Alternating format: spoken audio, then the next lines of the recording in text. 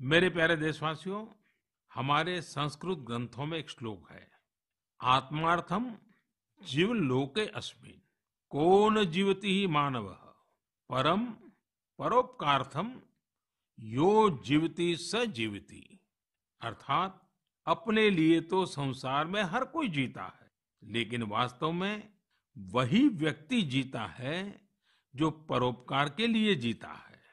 भारत माँ के बेटे, बेटियों के परोपकारी प्रयासों की बातें, यही तो मन की बात है। आज भी ऐसे ही कुछ और साथियों के बारे में हम बात करते हैं। एक साथी चंडीगढ़ शहर के हैं। चंडीगढ़ में मैं भी कुछ वर्षों तक रह चुका हूँ। यह बहुत खुश मिजाज और खूबसूरत शहर है। यहाँ रहने वाले लोग भी दिलदार है। और हाँ अगर आप खाने के शौकीन हो तो यहाँ आपको और आनंद आएगा। इसी चंडीगढ़ के सेक्टर 29 में संजय राणा जी फ़ूड स्टॉल चलाते हैं और साइकिल पर छोले भटूरे बेचते हैं। एक दिन उनकी बेटी रिद्धिमा और भतीजी रिया एक आइडिया के साथ उनके पास आई। दोनों ने उनसे कोविड वैक्सीन लगवाने वालों को फ्री में छोले भटूरे खिलाने को कहा। वे इसके लिए खुशी खुशी तैयार हो गए।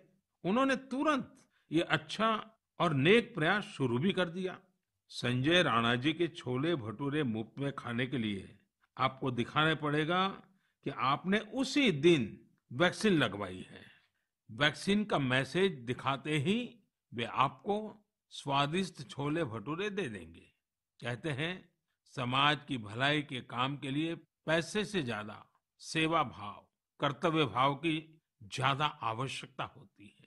हमारे संजय भाई इसी को सही साबित कर रहे हैं।